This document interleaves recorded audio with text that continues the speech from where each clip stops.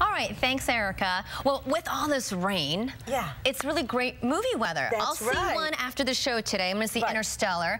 But okay. a preview that I've been loving, which you say is pretty good, is the Stephen Hawking movie. Right? Oh, yes, the Stephen Hawking movie people should definitely see. It's as part of my uh, Wahl's winner. It's called The Theory of Everything. Oh, Absolutely previous, yeah. terrific. Also, it brings you up. Uh, this is a man who's lived a long time. He's still alive.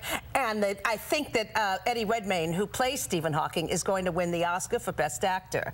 Uh, there's a lot of good movies coming at us fa fast and furious because it's Oscar time, Oscar uh, qualification time. Now, I admit it, I love movies about people who have actually lived, based on lives of painters, writers, scientists, anchor women, uh, unusual, unusual lawsuits. You know, I like anything that's real. Or in this case, super wealthy eccentrics. It's Foxcatcher, the story of John DuPont. Do you have any idea who I am?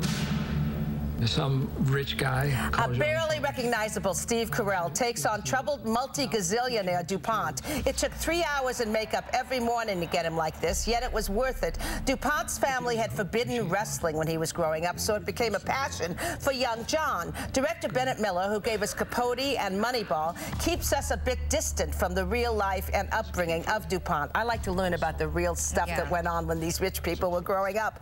And that does hurt the film, but we still see a man struggling under his family name. They were the gunpowder family, the DuPonts, and struggling to gain respect. Channing Tatum and Mark Ruffalo fall under the DuPont dream, and you can almost feel like shouting at the screen, no, money isn't worth it, fame isn't worth it. Not a great movie, but a good one, and definitely should be seen, and good for Steve Carell for doing something yeah, that different. so different. I know, and I went, and you know, it's a true story, and so I went uh, and looked it up. I love doing that after I see a real movie, and a movie based on reality. And I'm telling you, this guy, he got it pretty right. It's very, it's very, it's good. It's not great, but it's good.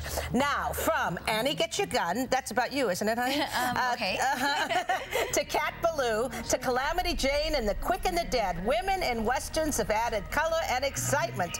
Add the unusual raw-boned vitality of Hilary Swank as an independent frontierswoman, co-written and directed by her co-star Tommy Lee Jones, and you've got the Homesman. Swank is a straight-talking single woman who lives uncommonly alone in the new Nebraska territories circa 1850. The loneliness, lack of medicine, and brutal weather drive three of her female neighbors into total madness. She drives these three severely sick women for help with a questionable claim jumper to help out, and that's Tommy Lee Jones. Uh, while Swank burrows deep inside her character, director and writer Jones never seems to let us knew, know who this unusual woman really is and why she makes baffling choices. It's a watchable movie. It gives you a different part of the West, but it's not a feminist Western. These women are not strong enough to be feminists. They all are victims, and uh, that so that a feminist Western still remains to be made, and maybe it will be in the future. Hilary Swank is terrific. Yeah, though. She takes big her. chances. She's also uh, here's some other movies to see right now.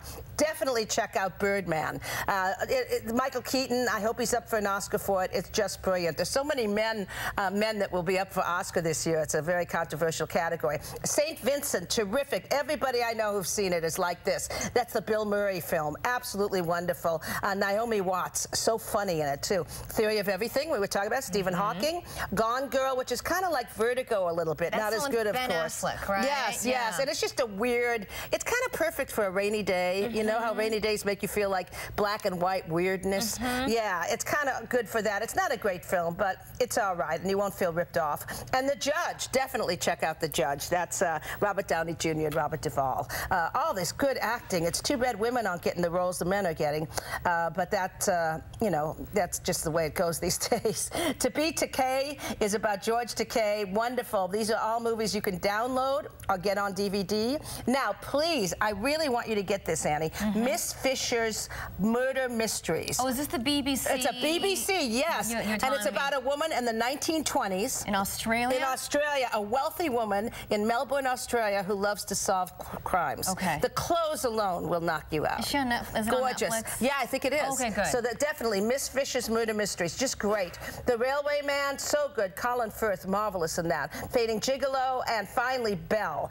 These are all movies to see right now. Now, let's talk about uh, a man that we lost this week who was beyond brilliant. This is the man who got, you know, he's an EGOT, right? He did, he got an Emmy, a Tony, an Oscar, and a Grammy. Uh, but more than that, he, I think he got 18 Tonys. But he was really amazing. Um, his name is Mike Nichols, TV, stage, film director, writer, comedian. He began with the innovative comedy of Nichols and May. He went on to direct The Graduate, which is mm. amazing direction, mm -hmm. really radical direction. Who's Afraid of Virginia Woolf was his first movie. Can you imagine telling Elizabeth Taylor and Richard Burton what to do on your first movie, especially because they looked so unusual, those yeah. two, especially Taylor. Silkwood, Working Girl, The Birdcage, all of these movies, plus Angels in America, uh, wonderful film that was made for television. And he also staged the original Odd Couple, Spamalot, many others. Absolutely great. His fourth wife was Diane Sawyer. Mm. And uh, they had a long marriage, uh, much longer than his other ones anyway. and uh, they, uh, uh, you know, and he was just amazing. And he will be with us forever uh, because of his work. We're back with more after this break.